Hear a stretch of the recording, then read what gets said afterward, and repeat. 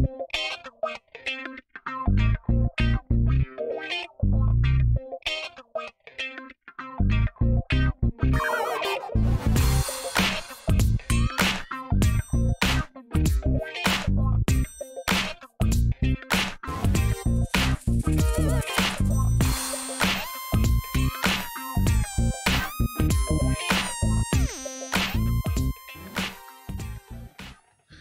Hello, everyone. We're back with another episode, and today we got a special guest out of Arizona. Her name is Bianca. she is the the owner owner of Lotus Theory um, Designs, and she makes custom furniture, which is that awesome piece in the background. Say hello, Bianca. Hi, world.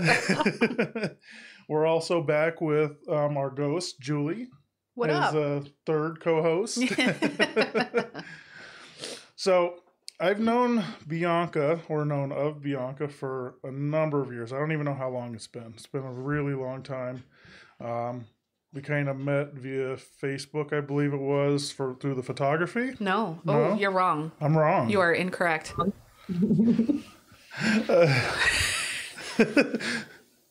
MySpace. MySpace. Okay. Yeah. Oh, wow. So that doesn't, you know, that's going to help give you a timeline anyway. That, that, that was a while That ago. was like a minute ago. Yeah, yeah, yeah. So, um, how was your transition from photography into the custom furniture? How, how, how did that happen? Um, well, um, it was easy. And I'll say that it was easy because it was an obvious choice. I was pretty much at the end point of my journey of photography. Um, for about a year, I simultaneously did both the weddings and the furniture. And what started to happen was um, I just, I, I'm only one person Mhm. and I give 100% to both businesses. I found that I enjoyed being um, isolated more and at home more. And um, physically, it's a lot easier to do the furniture than it is to, as you well know, as a photographer, get down on the ground and up in trees and take pictures and run here and run there doing weddings. And, Yep. and um, yeah, just getting older and, and, and, you know, not being the young spring chicken. So, do I you, got a middle-aged woman to carry around. So with that said, you know, it just it was kind of a no-brainer. so do you find it a little more freeing as an artist to be able to have, you know, with, when I was doing photography, I always felt like there was a lot of pressure because you're dealing with clients, you're dealing with Mhm. models, you know, it just felt like a lot of pressure to perform.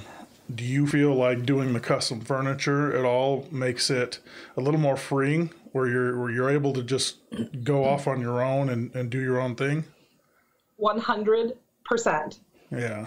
absolutely. Um, you know, I toward the end of my photography journey, I started to think maybe I should have just stu- uh, stuck with the art side of it rather than you know getting into weddings and family portraits, and that's all good and well. I mean, the money's there. However, the creative freedom wasn't. And so, um, you know, in this business, Lotus Theory Designs, the furniture, one of the things that I told myself and that I really have to stick to is that I'm going to protect this art and not, you know, get to a point where I feel like I'm being uh, burnt out by restricting my creative side. So I really don't even do customs anymore. I just do what I want.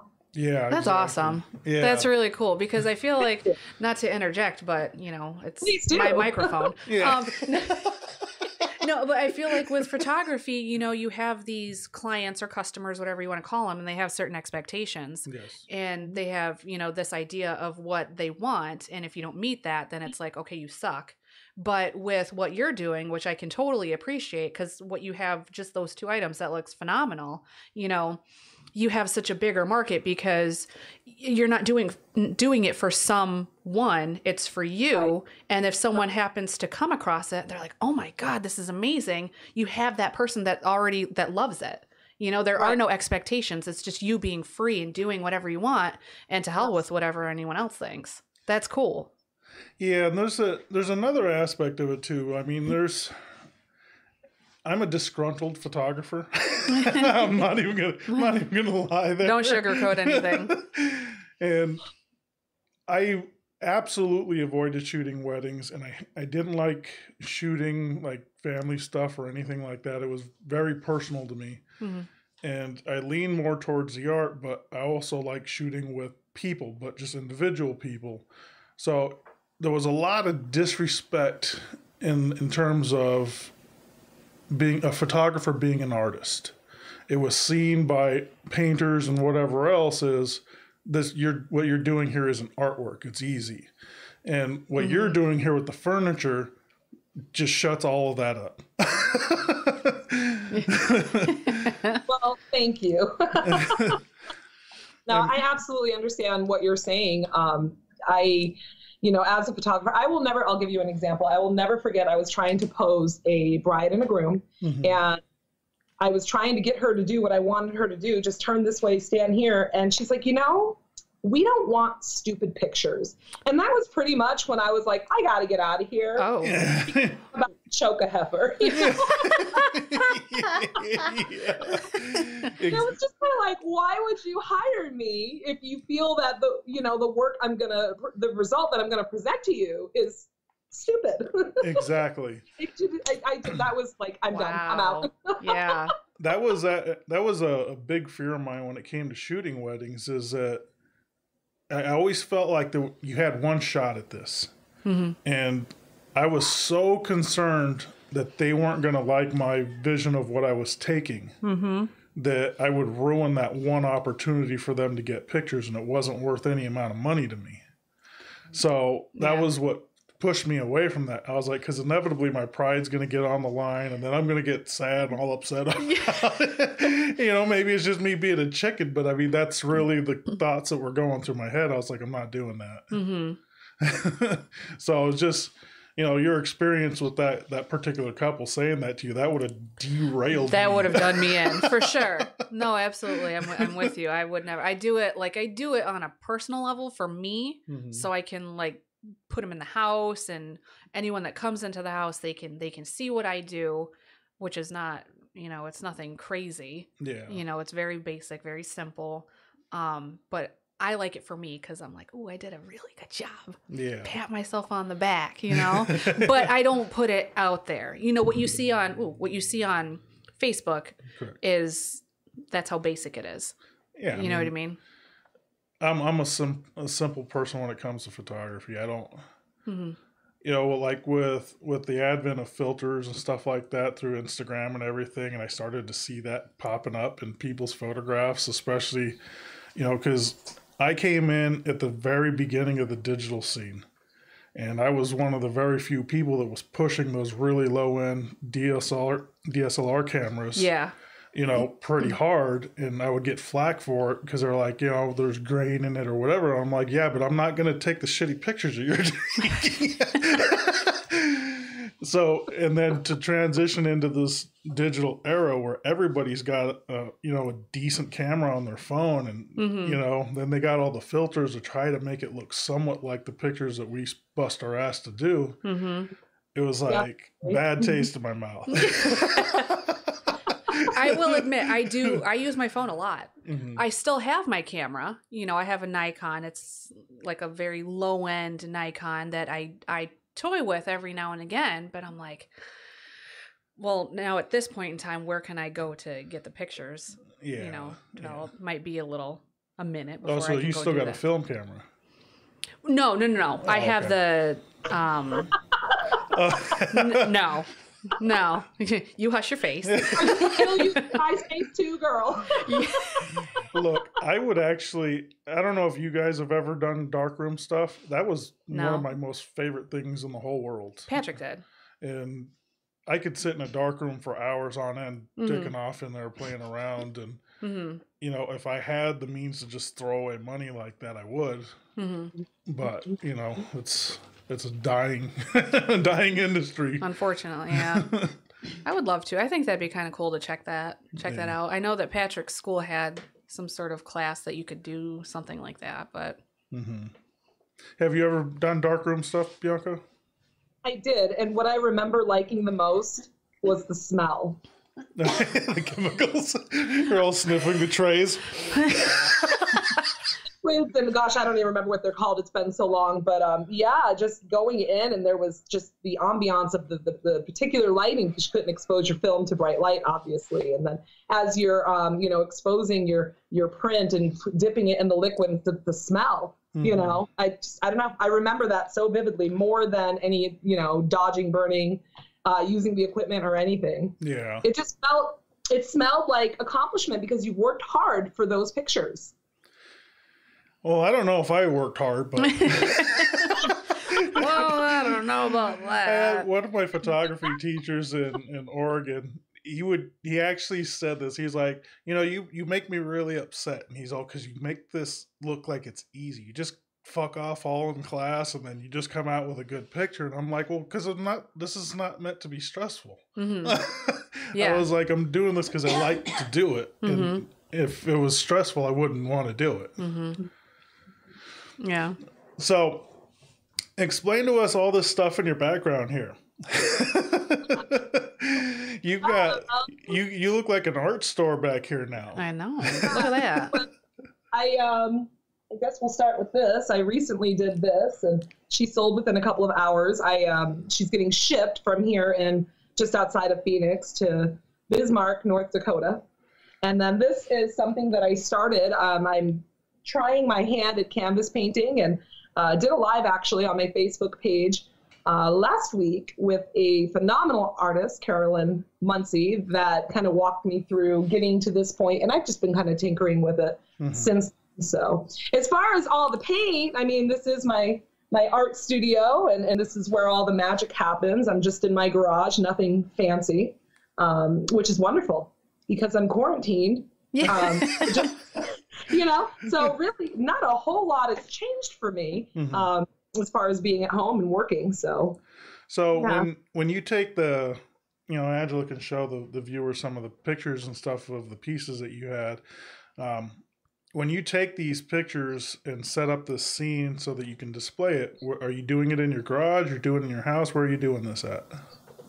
So I no longer have a dining room. That is my staging area. Okay. so that's all happening in my dining area um, where I built a staging area using a few pieces of um, uh, sheetrock, putting them together and kind of doing a, a, full wall so that I could texture it and not ruin the, the wall that's underneath. Oh, that's awesome. That so is it's, awesome. It's, it's a studio. I them out, yeah. And then some of my stuff I Photoshop. I don't always Photoshop, but mm-hmm. sometimes I will change a background out. Um, a plus side to having that photography background, right, is that yes. I have an opportunity to put it to use in this business. And because of those photography skills, it is actually um, proved profitable uh, on my end, you know, just whether it be editing people's backgrounds for them, mm-hmm. um, trying to give them a realistic uh, scape with their furniture, or um, maybe doing some product photography for companies and whatnot. So awesome. So it's not just the furniture; you're also able to work with. Uh, I would assume that you have some sort of partnerships with the the art suppliers, as well as networking with other people that are doing this type of furniture. Yeah, yeah. I am. Um, I'm part of a vast network, and um, I'm actually a brand ambassador for a couple of companies. One of which is Dixie Belle. So all of that paint that you see, all of the, the shelving is just lined with Dixie Belle paint. okay. Um, and so I'm one of their brand ambassadors. There's nine of us in the in the company. So, wow. and then I'm also a ambassador for WoodUBend, which is these appliques that you see here. Okay. So. So how do those attach? Go ahead. Glue. No, no, no, no, that's okay. I'm looking at her paint because you said that you started doing canvas, and I just had a quick question. Is that your first attempt at canvas, or is that just something that you're you're showcasing for this, or? No, it's my second attempt at canvas, and yeah, I mean, I guess I am kind of showcasing for what we're doing here and now, just to put something in my backdrop. Yeah. but yeah, that was there, and I'm like, what the heck? that is awesome. That's her two most recent things that she's working on, correct? Yeah, I have a, a chair that I um, is in the other room that I am finishing up today. Actually, once we're done here, and I'm calling it hashtag I love the '90s because it's just bursts of color all Ooh, over the face. I like it already. yeah, really. I don't even need to see it. I'll take it. Uh-huh. That's really cool. So how do you deal with the shipping end of that? Because you know, for those that have followed me, I I've tinkered around with many things, and I built some pieces of furniture or repulsored furniture before, and the shipping just seemed like an overwhelming nightmare of a headache, and I was just so paranoid that they would break it. And like I'm looking at this piece in your background, Right. and I would be horrified if FedEx or UPS busted a leg off of that or something. so well, I don't use FedEx or UPS for that reason. They don't care. Um, they just toss things around, and that's that. Whereas I use white glove shippers. Um, I try to stick to shippers that I have worked with in the past and trust. And I am right there with them as they're loading it into their trailer and wrapping it up real nice using saran wrap and blankets. And, and they take it directly from here to point B, which would be my client's home, and bring it in for them. Wow. oh, okay. Yeah, it's not like it's changing trucks and and changing hands and, and people just tossing things around. You know, they they take responsibility for it and the guys that I work with have a lot of integrity for what they do, you know, not only for what they do, but for what I do too. So If you don't mind me asking, how did you find a company that, that you trusted to do that? I mean, what what com- is it? One company that you use or numerous ones? I have a couple, but right now I'm using one because uh, he's he's just on the ball. Mhm. Uh, as far as how I found him, word of mouth. This industry, things get around. We talk, you know. so, you know, and and we ask each other like, "Hey, I need a shipper." Um, you know, I for whatever reason my shipper's not coming through, or I use this guy, I didn't like him, whatever. And um, they're like, "Hey, well, I've got this guy." Um, you know, they're not big companies; they're just mom and pop shippers, just like I have going on here, small one man operation. So. Awesome, awesome. Is there any is there any ever issues where, you know, let's say I were to buy something from you, is there any issues that maybe these shippers are like, well, that's just we that's out of our way, you know? I mean, how Yeah. how does the logistics behind all that work? You just find a different person. You just keep hunting, okay? Wow. Yeah, Some that's good to refuse to go to like New York City, for example. Not, I'm sure all of them right now are like, we're not going there. But you know, I have had them say, you know, it's just not worth it to have to navigate all the tolls and the traffic and congestion with this big trailer, etc. You just Mm-hmm. find somebody else that's willing to do it. Mm, okay. So I wanted to ask you a little bit about your past because I've never really asked you about this. Um, I know that you have family connection in Buffalo, New York. Uh-huh. So were you born in Buffalo? Boston, You were born in Boston. Okay. Boston. I'm at, but the Boston area is where I'm from. So explain a little bit about your travels and how you ended up where you're at and the connection to Buffalo. So I oftentimes will um, uh, compare myself to the Fresh Prince. You know how he went from Philadelphia to what, what was it, uh, Bel Air or Beverly Hills or one of them, and you know he went from pretty much this poor living to having money, and that that's um, often how I will compare myself because I grew up very poor in the projects, hungry. I mean, I remember even living in an abandoned building at one point. And I'm also the oldest of seven, so let's just throw that out there. Wow. Um, I was getting into trouble around the age of 12. Um, and, you know, given my past and, and how I was being raised and the things I had to endure, it's of course I was going to start getting into trouble. you waited And until they, you were my 12? mom sent me out here to live with my aunt and uncle, who at the time had a whole lot of money, Mhm. you know, and just showed me love. And I ended up here.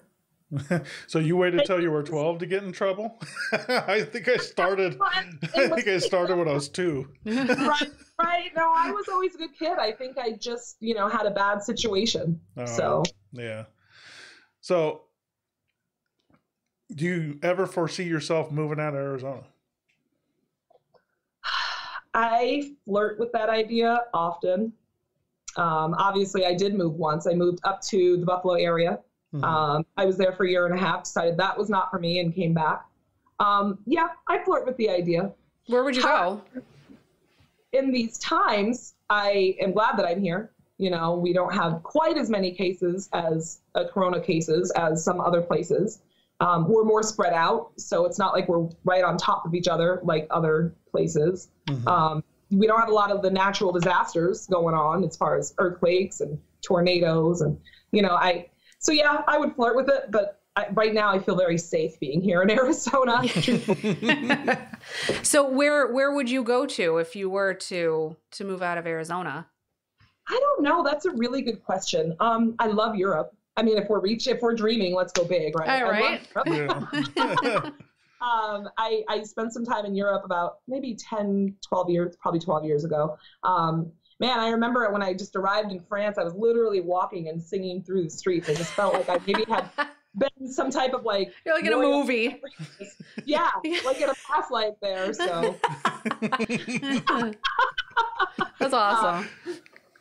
yeah, I, I still haven't gone into Europe and you know overseas, but that's definitely was on It's on Angela list. and I's you know short list of things to do. yeah. because Yeah. I you know I've been all over this country. You know, even if it's just driving through, I've been all over this country, and I got a pretty pretty broad perspective on you know the way different people behave differently in different areas, and just Mhm. the whole scene just being totally different. I, I want to see what's over there Across the pond. Across the pond, I want to what see. it's like. Check I it out. See, you know, does it rowdy over here? Is it laid back? I mean, what's going on here? Mm, it, it's probably all the same, just in a different language. maybe, maybe. It's like when when I first visited New York City, our friends that were showing us around, I was like, "Look, I want to go right into the ghetto." I was like, "Let's not let's not sugarcoat anything. Let me see let me see the worst of Go this. balls deep.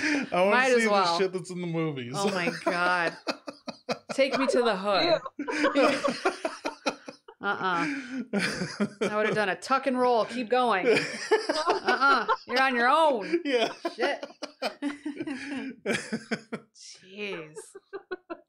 so when you started doing the the furniture stuff um how did you discover the the groups and things that you're you're networking with is it are they like facebook groups i mean what how how did that pro how did you get to that point Gosh, oh, you're taking me back. I have to try to remember. I'm pretty sure it was just word of mouth. Like, hey, join this group.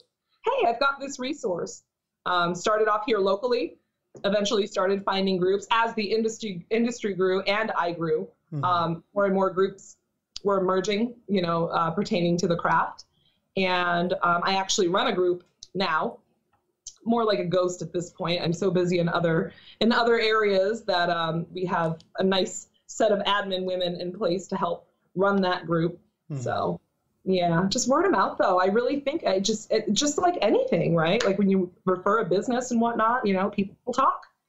It seems like, I mean, from an outside perspective, it seems like the the networking that goes on in in that group is more friendly compared to the stuff like you know I do my welding and stuff. Mm-hmm. It's really shitty. I mean, these guys will you'll post a picture of some of your work and they will rip you apart. you don't know what the fuck you're doing.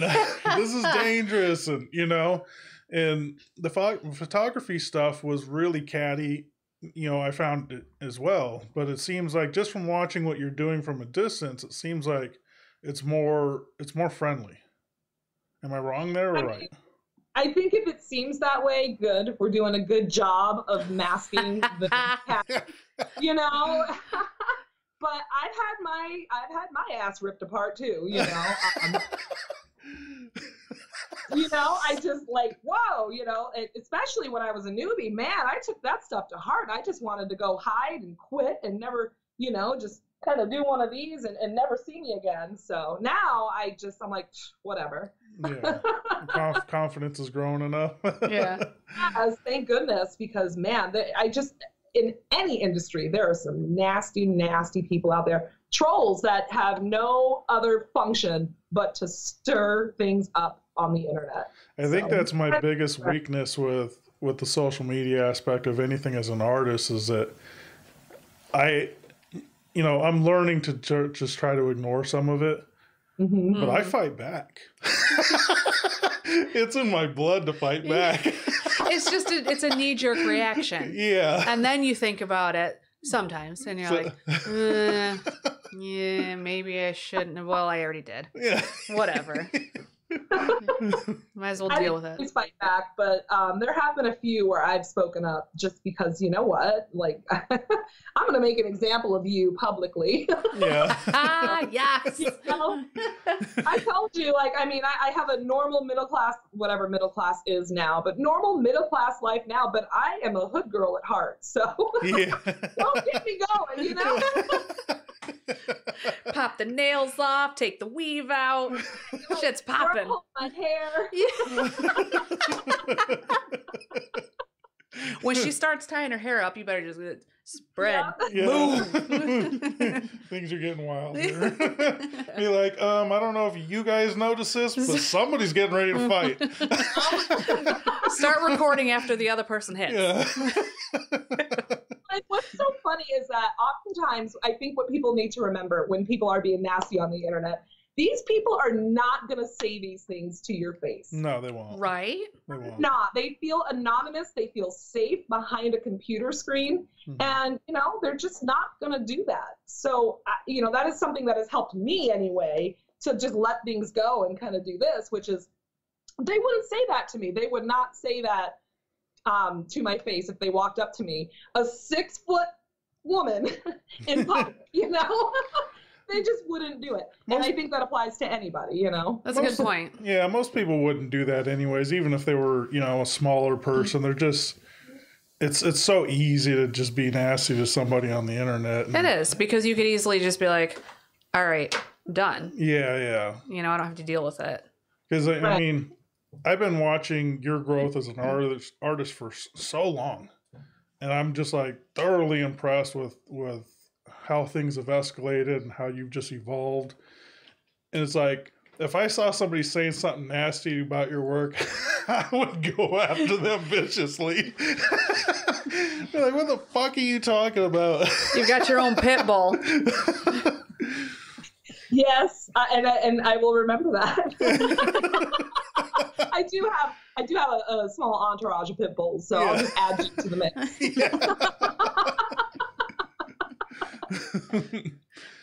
so you made a post um, regarding you know the disrespect or not necessarily disrespect but the value of an artist Do you want to talk about that for a little bit Sure. Um, yeah.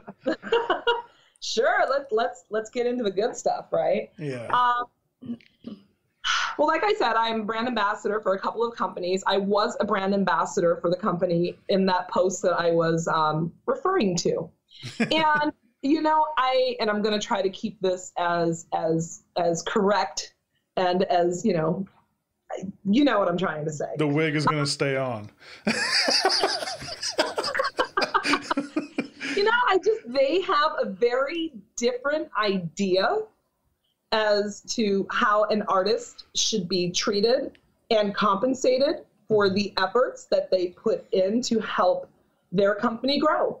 And because I did not agree with their um, proposal to me, as Mhm. far as what you know I would get in return for the services a brand, as a as an ambassador for them would provide, I didn't agree with it. I walked away. And honestly, it's been a few days now since I've um, officially done it in a public capacity, Mhm. um, a few weeks actually, and I'm just not looking back. I feel free and liberated. It's very much like we were talking about earlier about feeling, you know, with the weddings and, and the portraits and feeling like our creativity is just being choked and stifled. You know, it, it's very similar to that. And that's just not how I roll. Again, like I said earlier, I made a promise to myself to protect this craft. And I know the value in my work. I know the value in the content that I'm putting out there, the value in not only, you know, good paint jobs, um, but also in my photography and my post and in my following is just growing. It's not as huge as I'd like it yet, but it's it's getting there. Mhm. And so I know the value in all of those things. And I also know the value in myself as a human being and as a woman. And so when a company came, you know, w- would come to me and I feel that they're really, it's not a fair quid pro quo, um, mutually beneficial relationship. I, you know, I just, I, speaking to artists everywhere, you know, you have to assess that and, and ask yourself, is it worth it? you know can i can i follow through with this and feel good about what i'm doing knowing that you know i'm not being compensated um, fairly. Yeah. Whether it be monetarily or any other, you know, form of payment. Yeah, that's a, you know, because being on YouTube and having my YouTube activity and stuff like that, inevitably there's companies that come to me and, you know, some of them are simple as, hey, we're going to send you something. We want to, you know, want you to do a review on it or want you to use it in our videos. You know, some, you know, we're talking about tools in most cases. So some of this stuff is really expensive. You know, Right. somebody might send me a $700 saw that I Right. really want anyway. And they're like, just use it. And I'm like, okay, fine, that works. We'll just, Exactly. it's, it's a, it's a bartering thing, you know? I'm like, send it on over. Sure. I you mean, know, if I have to. yeah, but then there's companies that I'll get all the time from China that are like, "Hey, can you review this or review that?" And I'm like, "Ah, probably not, man. I mean, I don't. Number one, I may not need it. I know I can look at it and tell it's bullshit. I'm not going to lie to people about it. Mhm. Right. It's like, I mean, we need to start talking money here if we're if I'm going to be reviewing things that I don't like, or you know, or Right. putting forth a bunch of effort into something that just doesn't flow with what I'm doing. right. So I, I could totally see where, you know, working with any of the, the companies that you would be affiliated with, where that would be a touch and go type of thing, where you, you, you know, you don't want to burn any bridges, but at the same time, this is art to you. This isn't, this mm-hmm. isn't Kmart. Well, currently, it's my lifeline. It's my therapy. It's my sanity. You know, so even more now than ever, I feel the need to protect it. I, with everything that's going on outside of these doors in the world right now, you know, this is what I have, and I, I just cannot, you know, allow somebody to tell me what I'm going to do and how I'm going to do it, and, and get nothing for it. Yeah. Um, you had mentioned about getting, you know, products from per, per- perhaps China that you're like, oh, I can already tell that that's not good. Um, you know, I actually have worked for other companies in the past in a, you know, influencer um, capacity, and there are things that I just I won't do. I won't use products because I, you know, I, I just don't like the product, you know, and it has nothing to do with them personally. Maybe they're great business people, maybe they're the best people on the planet. But if you're going to give me a product and ask me to do a review, use it, etc., and I find that it's not, you know, it's subpar, it's not as good as it needs to be, you know, I'm not going to sit here and tell my followers this is great, you should buy it. I'm not doing that. yeah. You know, Check out these brushes. They're wonderful and they're Yeah. dropping hairs all over everything. Yeah, exactly. I, and, you know, it's so funny. I worked in the restaurant industry years ago, and it would be the same thing. You know, people would say, "How's the breaded fish?" for example, and I'd be like, "Ooh, no, uh-uh, you don't want that." Yeah. Well, if you don't, you kind of you lose your credibility. yeah. You know, and then people aren't going to trust in your judgment and anything you're doing, so it just puts a bad taste in your mouth. Well, Absolutely. I don't- no I pun don't- intended. True. I don't think these companies realize how valuable that is. I mean, it doesn't matter if you've got 5,000 followers or 100,000 followers, those people are there because they trust you. right. And, you know, I got into a kind of a thing with all my rebranding on my YouTube channel and, and doing this podcast and stuff. And I was like, I was trying to explain it to somebody. I was like, you have to understand that I'm selling me. The product is me. It's not my welding. Mhm. It's not the podcast. It's me. It's anything that I get involved in. That's the product. and that integrity and my artistic creativity is what I'm delivering, and it has to stay pure. hmm Absolutely. I couldn't agree with you anymore. Absolutely. There's a lot of people out there, you know, and to each their own. By no means am I trying to bash, but, you know, I know for what I do compared to some of the work that, you know, for example, locally is being thrown around, I have people say, your stuff is so expensive. I can go down here and get it for, you know, $300 cheaper. And it's like, well, go down there and get it for $300. Right. Okay. Go ahead. okay then let me help you you know it's it, my talent is based uh, or my prices are based there's a saying uh, my prices are based on my talent and not your budget you know Well, and people are literally just throwing paint on something and selling it for like dirt cheap well you know then they come to me i've literally had com- people come to me six months later the paint peeled off yeah. you know i'm sorry that's really sad but Well, and that I mean, when we're getting into the value of what it is that you do, there regular people that don't have never put their effort into doing like a furniture piece like what's behind you they have no idea of the amount of work that's involved in that. You know, Right. I've never refinished a piece of furniture like you do, but I've done enough playing around with woodworking and furniture and stuff like that to know that there's hours upon hours and Mhm. you know and a tremendous amount of material that has to be purchased and tools Right. and you know that stuff is not free doesn't it's not something that you know when you're when you're looking at trying to sell a piece of furniture and you can't compare it to an ikea piece of furniture it doesn't Yeah. matter if it's used and refinished there's just way too much effort and work put into it Right, right. Absolutely. There's a lot of work that goes into it. But I think that for the most part, some people like yourself, you know, may not go through all this or have done anything quite this elaborate. But I think most people understand that there is, um, at the very least, just prep. I mean, it- you know, I'm not the first person to paint furniture. People have been Yeah. painting furniture for what, a hundred years, maybe more? I don't know. You Mhm. know, it's dawn of time, I'll say um, anyway, you know, and so even back in the day, you know, they would sand it, strip it, sand it, prep it, prime it, whatever. You know, I think most people, for the most part, have a very basic understanding that you don't just walk up to something and throw paint on it. so how do you i have a question for you so how do you compare like your first piece to where you are now there we go that's the one let me I see like you. That's a good question. That, it was a hot mess. yes a hot mess. Oh my gosh. And and it just oh my gosh. I don't even know what to say. I thought it was awesome at the time. I was so proud.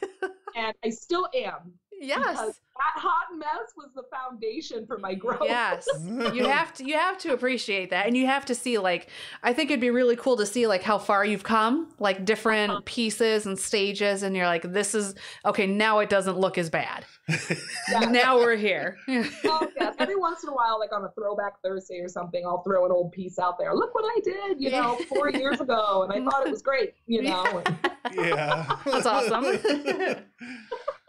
It's good to look look back at some of that stuff but i mean even like when i look at my old photography some of the stuff that i thought was complete trash back then i have a different view of it yes you know Yeah, and there yeah. may be a there may have been pieces that you were working on where you're you really struggled with a certain spot and you're like and you know five years later you look at it and you're like that actually looks really good hmm Definitely.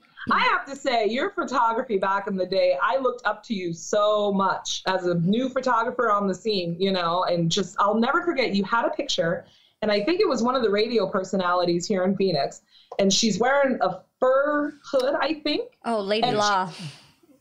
Yes, that's exactly who it was, and she's up against a uh, like a glass, and her reflection. Oh man, it was just so mood. The mood, it was beautiful. I remember you. that. We were in uh, downtown Phoenix at night when we were doing that shoot with her. Yes, it was. It was. That was a beautiful picture. I'll never forget that. I'd and I love to think see that. that was the ones that caught my eye. Yeah, I was I was so nervous when I would do shoots. because like if it was if I was going off with Angela or somebody, it's no no nerves at all. She knows who I am. She mm-hmm. knows the process of me just stumbling around trying to find something. I know how weird it's gonna get. Yeah, I know how weird it's gonna get. Or I may ask her to do something that most people are like, I ain't doing that.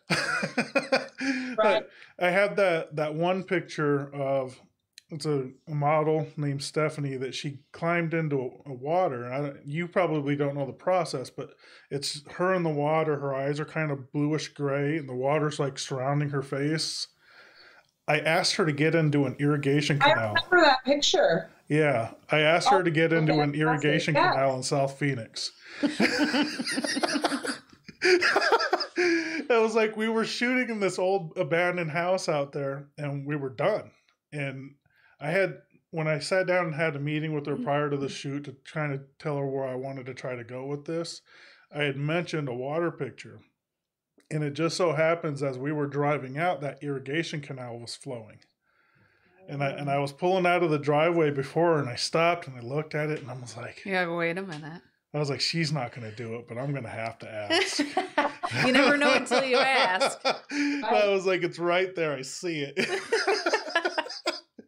and she she She went for yeah. it. she went for it. But I always get super nervous about stuff like that because I'm, I'm like, if it was me, I'd just dive right into that thing, no problem, whatever. hmm There's a shower later. Well, good for you for asking because I mean, I, I remember that picture too. That picture was just so goth, yeah, kind of dark. yeah. Yeah. Like, at that time in my life, I mean, we're talking what, early 20s? That was a while ago now. I remember just relating to that because I was kind of emo and dark myself. Mhm. Not in a I need some therapy, lock me up way, but just in a trying to figure stuff out kind of way. feel like know? everyone everyone had that phase at some point. or some Yeah, of us, you know Yeah. what I'm talking about exactly. some of us are still there. Yeah. You might slip in and out of So, it Yeah. every every now and again. It's cool. Yeah. Uh-huh. That's I've, fine. I've always had a, I don't know, maybe I'm just weird, but I've always had a sweet spot for art like that. Yeah.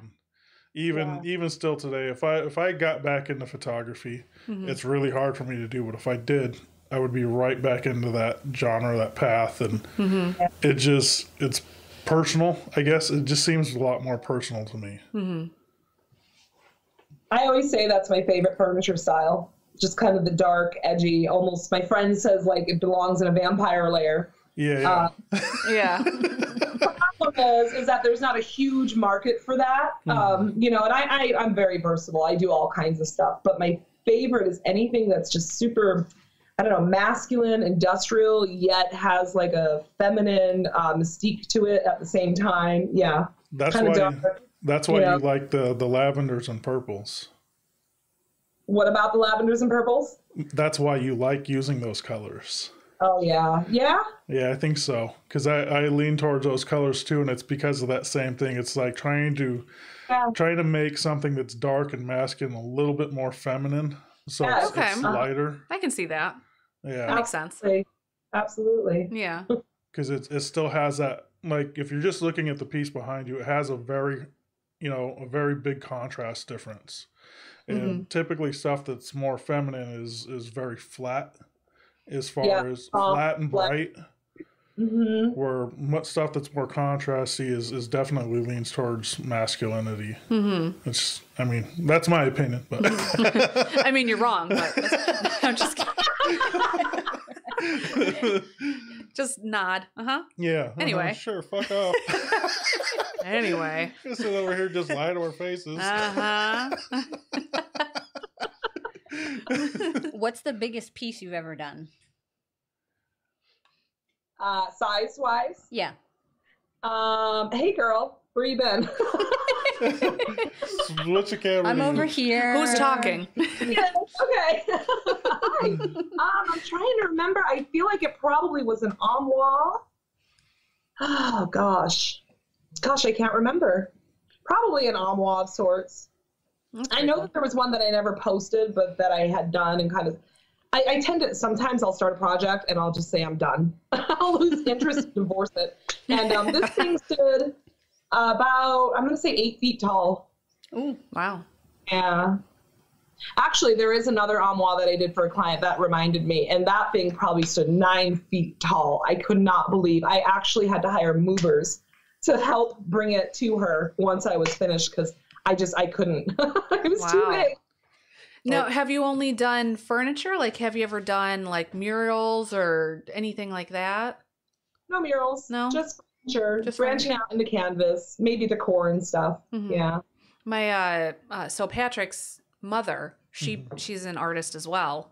Um, she actually did the is it the Central Square Library? Yeah. There's like a huge mural mural on the inside. Yeah. Had a slow moment. I apologize. if you could cut- spell it out for me, I could probably say it better. Yeah. It's the, co- it's the country accent, the mural.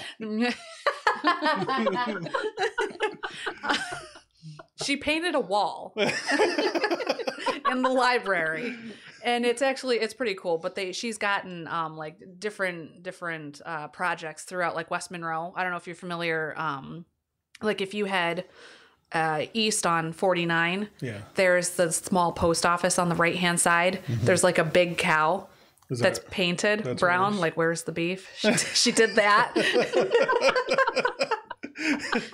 anyway Shout out to the cow. That's my story.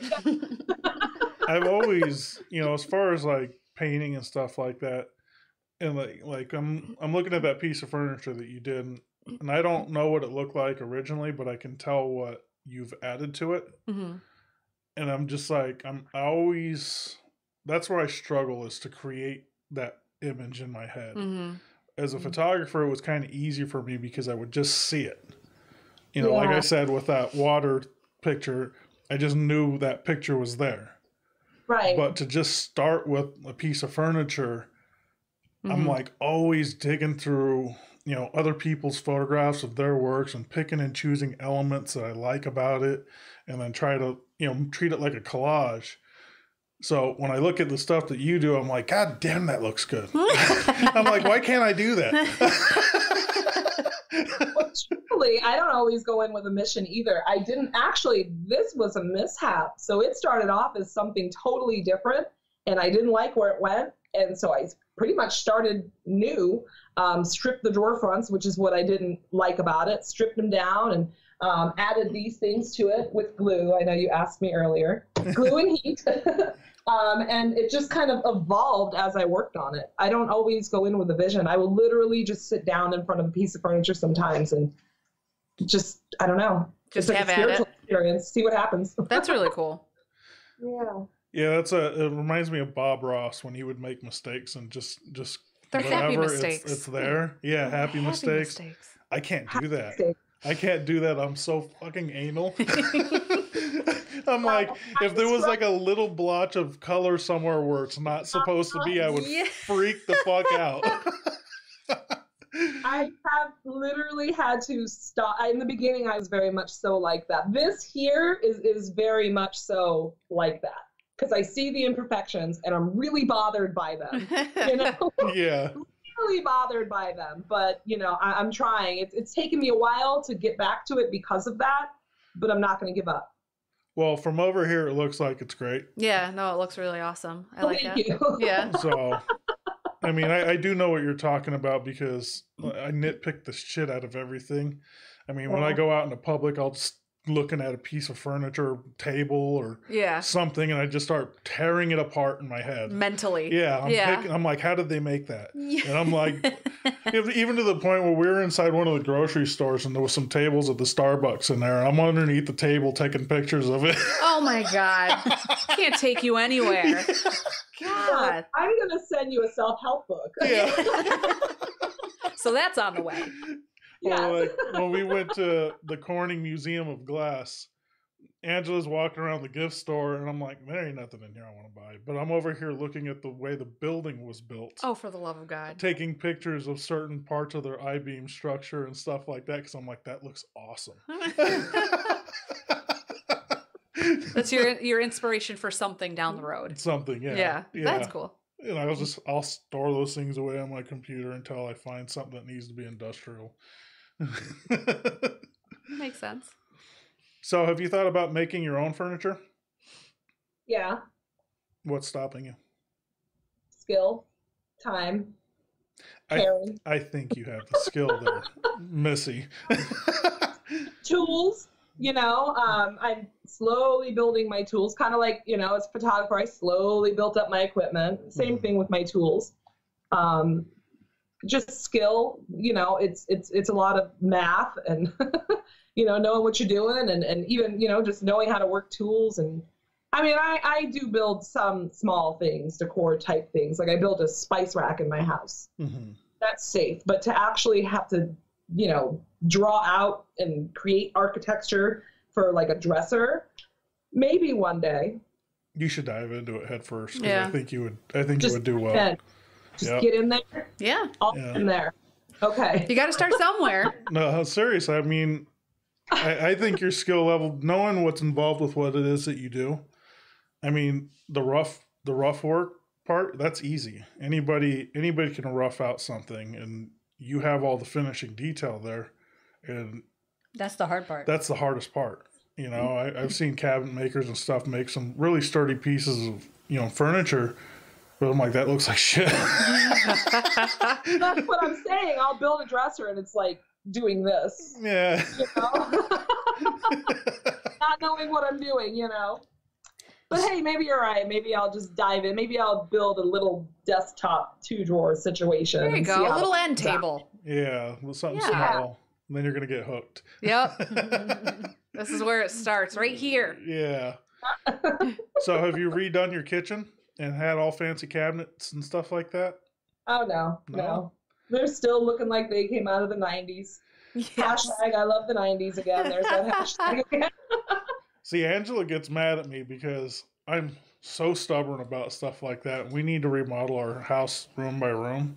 But I'm like, I have to make the kitchen cabinets. He wants to make everything. I was like, I have to make the kitchen cabinets. They have to be personal to me. And It takes that much longer. I know from experience.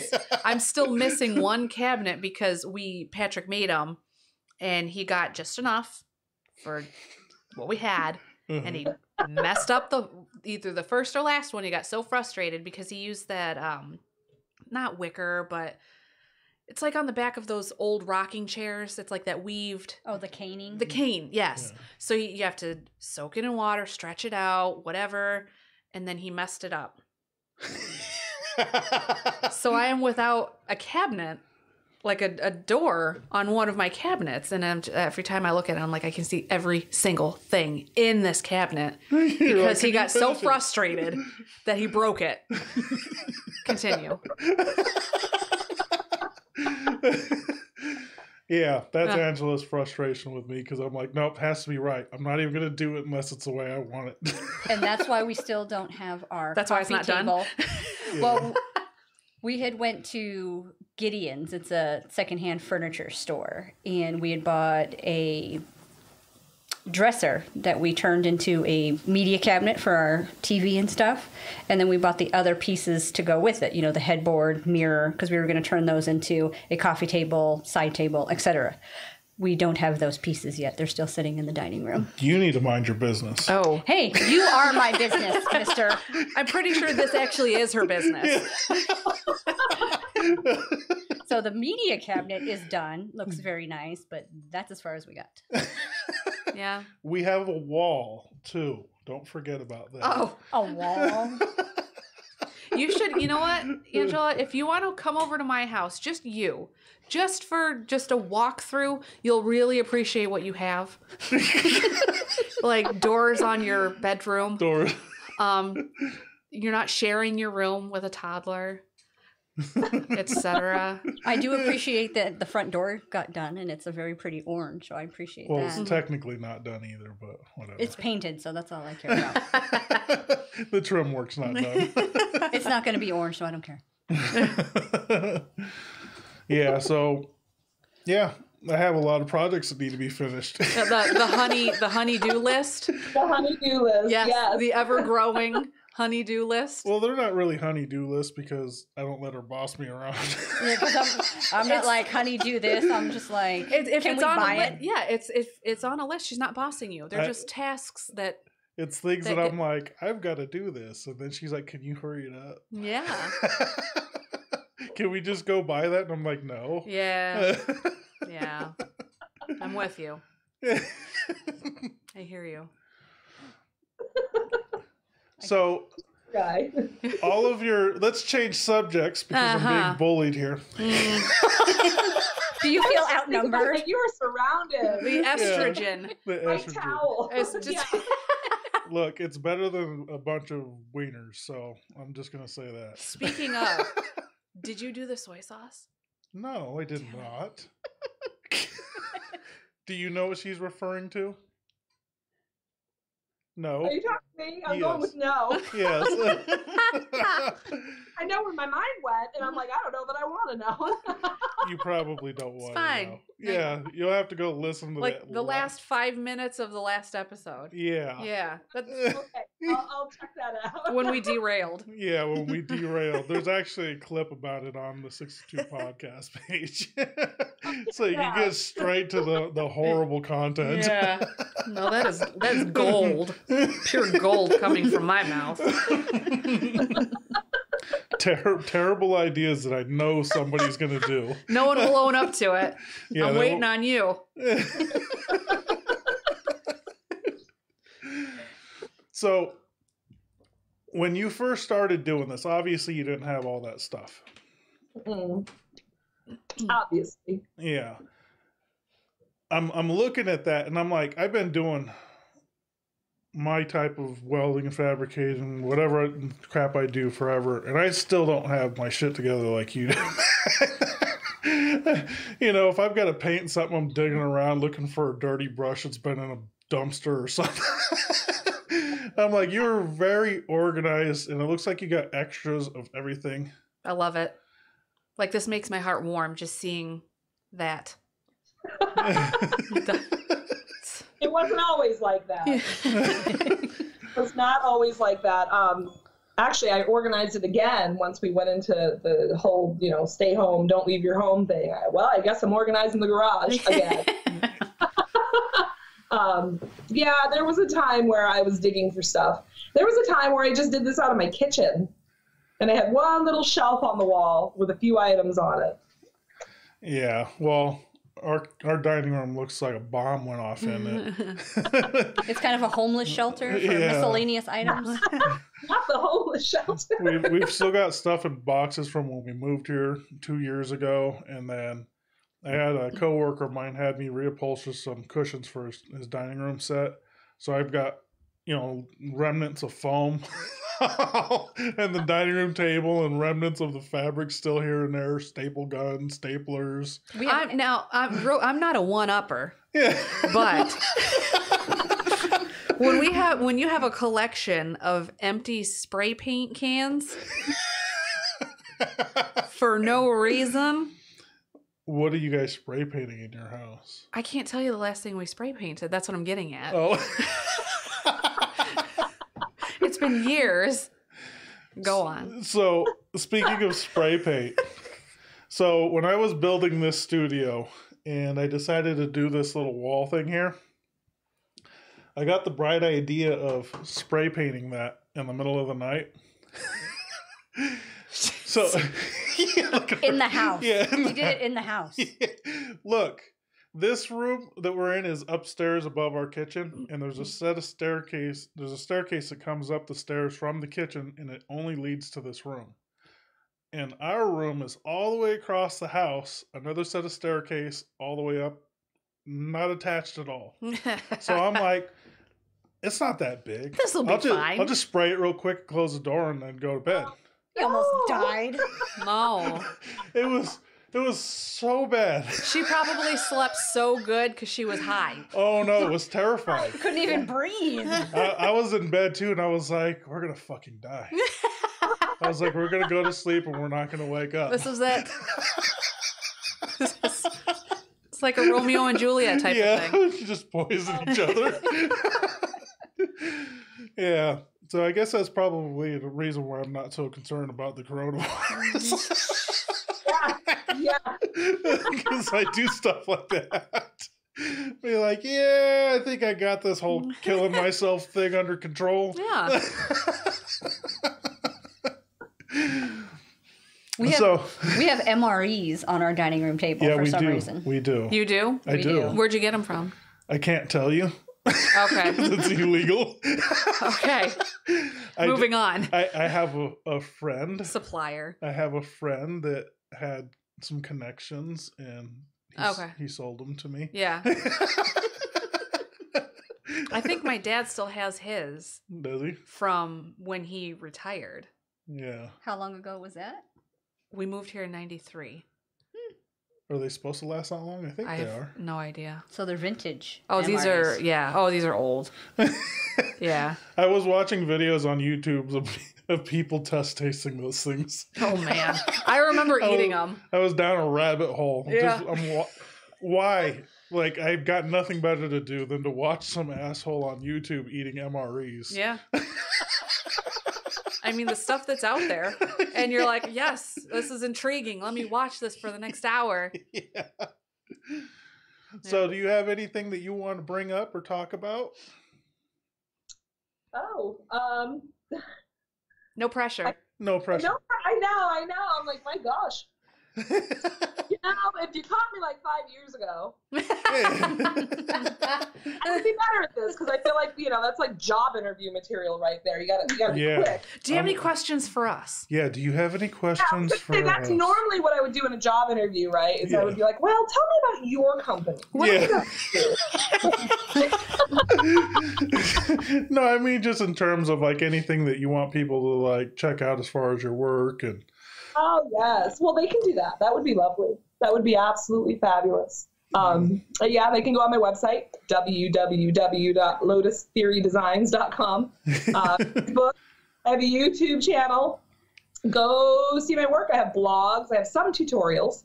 Um, not on this, unfortunately. That was that was just for me in a in a time of just needing to escape into Aladdin. I feel like this reminds me of Aladdin. Like I feel like it flew in on a magic carpet. Really?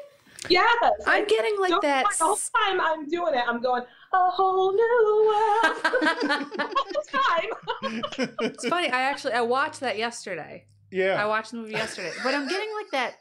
What is that? Ste- is it steampunk or whatever? That that whole vibe from it. That's you know, the masculine part that you're noticing. yeah.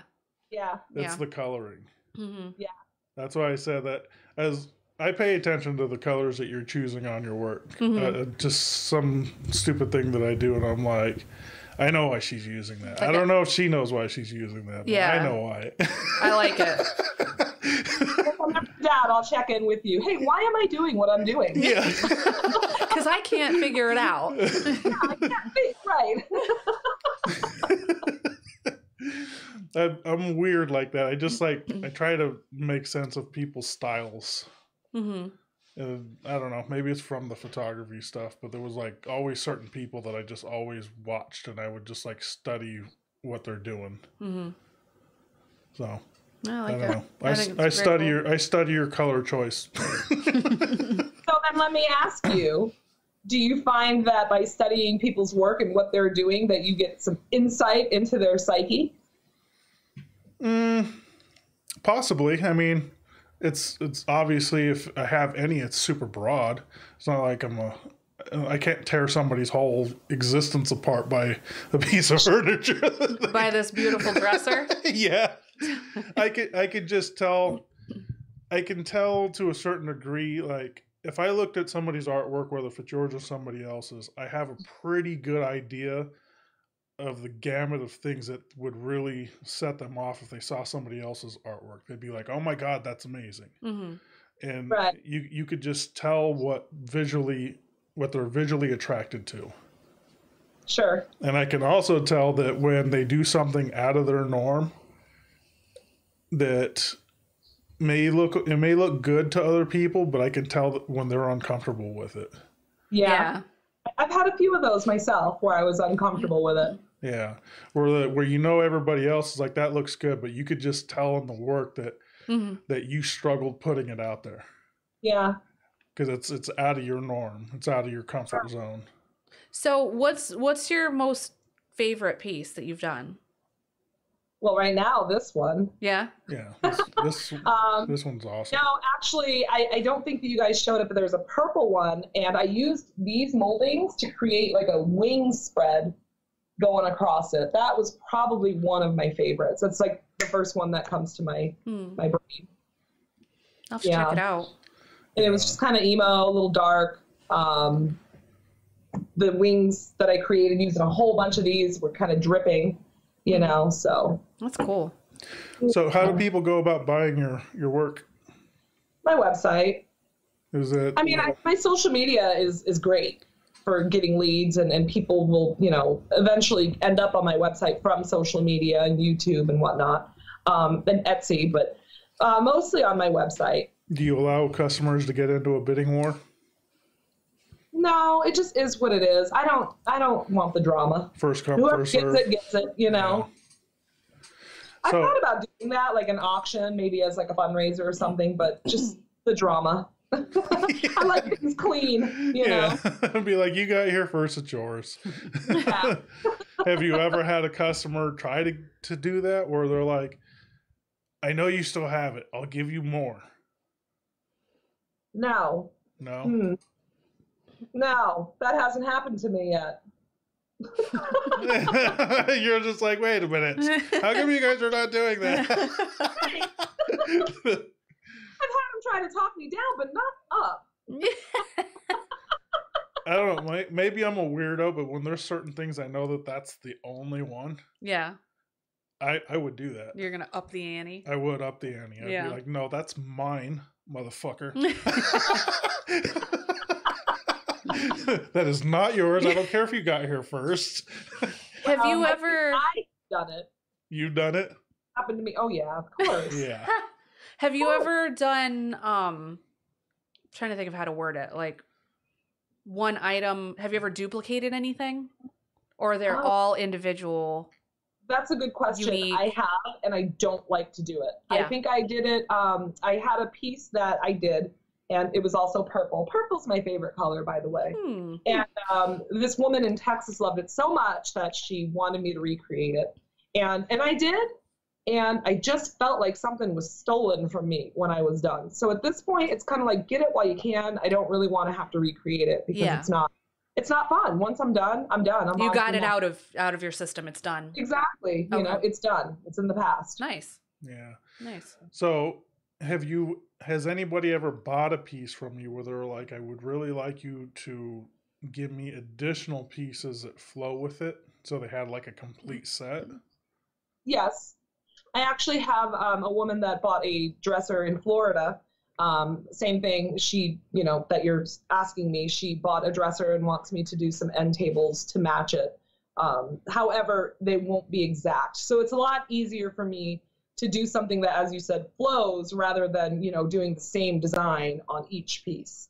Yeah. Has Is that- anyone? Sorry, sorry. Go ahead. No, that's boring. Go ahead. Has anyone ever come to you with like a with a piece of blank furniture or just plain furniture and they're like I have this idea, can you create it or is it just you present what you have? No, they have. So back when I did customs, they would do that. Um, unfortunately, you know, I have many superpowers, but you know, reading minds is not one of them. And so in my contract, I would try to, um, you know, lay out what it is that they're asking as best I can. Mhm. Have them sign it. In the contract, it would say, you know, it's based on artist interpretation Yeah. and um, you know i would try i one of the last customs that i did this is when i was like i am done with customs i had a lady and she asked me to do a table for her and i followed it to a t um, the, the outline that she gave me in the contract she picks it up i love it pays me takes it home about a week later it doesn't match my house and long story short she demanded that i repaint it and i'm like no and then she demanded that i help her sell it and i'm like no Wow. and there's some backstory to it. She was getting a little nutty, little fatal attraction on me in the meantime. Mm. And um, anyway, and uh, I said, you know what? I'll just refund half your money just to pretty much be done with it. You know, just to shut her up. Yeah. Yeah, you to cut your losses. I don't even care. And um, she said, no, she wants me to do this, this, and this. And I said, you know, I just let her go. I was like, whatever. Comes back about a week later, I think, onto my social media accounts, talking about she's going to send her husband to my house. I owe her money. I mean, it just got so crazy. I could not believe this woman and this situation. And so I was like, I'm done. I mean, these people are nuts. Yeah. yeah. Not fun, but there are some nutty ones out there. It was enough for me to be like, I am done with custom work. Yeah. You know, I'll just do what I do, and you guys can buy it. And if you don't like it, then don't. You know? Right. Take it or leave it. Yeah. I mean, yeah, that's you know, I've said it before with Julie when I was talking about you know any of the work I do. I just don't want to deal with the customers on. Mm-hmm. It, it's got to be. I have. I can't ruin it by the customers because they will make something that you love. They'll make you hate it, Yeah. Yeah. And that's that's why I don't do photography anymore because I I actually really really enjoyed it. But if I pick up my camera right now today and say I'm going to go shoot something, I just have like this overwhelming like anxiety that's inside of me saying, "Why are you doing this?" Mhm. You know, don't do this. This is just going to bring back all that bullshit. Yeah. But it's I mean, that's why I, I avoid the customers because of that. And Yeah. and you know, like you were saying, I had a customer that I was redoing a Jeep, uh, his Jeep frame on, and it turned into a big shit show. I mean, where he came over to my shop with his dad, and I thought he, you know, thinking that they were going to intimidate me, and I'm like, uh, no. Wow. you know, and and it was just like, why is it that they just came to bully you. I mean, that's what she was saying. She's going to send her husband to my house. Let me tell you, Arizona's a right to carry state. Don't come to my house. yeah. And we'll leave it at that. You I'm know? like, please, please don't make me go down that path because I try my best to not behave that way. I'm like, I really am a civil person, but please don't push me that way. Yeah. Like not many people see this. Like I will turn into a hood rat if I need to. Yeah. We don't need to do that. Yeah. So what ended up happening with that when he Um, came? I ended up basically having to pull his dad aside, and I was like, "Look, I don't know what your son told you, but you guys are Yeah. not going to come in here and steamroll me. It's just not going to happen." I was like, "I'm trying to be reasonable about the entire situation. You're going to pay me for the work I did, and if at this point I don't want nothing to do with any of it, so pay me up to now and take your shit, get it out of here." and he did because he realized I wasn't going to budge on it, and they're not going to go in there and beat me up. That's not going to happen. Mhm. So, so it's just like, I don't know. That's after going from the photography and then trying to do that, I was immediately like, nope, we're not doing this again. I got to take control over this. I got to, I have to control all of it Yeah. and keep people from ruining it. You know? hmm Exactly. You got to protect it. Otherwise, you'll get burnt down. Yeah. Kind of like um, psychologists or whatever. Yeah. Have you ever thought about doing a piano? I did do a piano. That's a good question. I did my piano. Aw. Yeah, I did it in purple. so Angela's got some ideas in her head that are going to get really expensive to ship. That's okay. We can Um, save. we can save. Hey, acquiring the piano is the cheap part because they have actually have a website called like Piano Adoption. So when people are trying to get rid of pianos, there's a website where they do it for free. That's really cool. Yeah. That There- is cool. They're actually buying used pianos is really, really affordable because they're so hard to move. Yeah. I mean, those things are thousands of pounds, and hmm people nobody wants to touch them. Yeah. So they're just like, just take it. Yeah, please. yeah. That's why we had to leave mine. I, I got mine. I got it out of um, this guy. They just gave it to me, and um, they're like, "Just come get it." And I get there, and it's in a trailer. So you know, if you know anything about like trailers, the the, the stairwell is like really narrow and leads in, and oh my gosh, what a nightmare. Meanwhile, the guy's on his hospice bed while we're trying to move this piano out. Oh my god.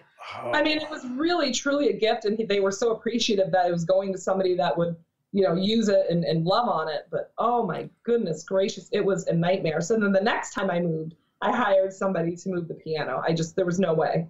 No way.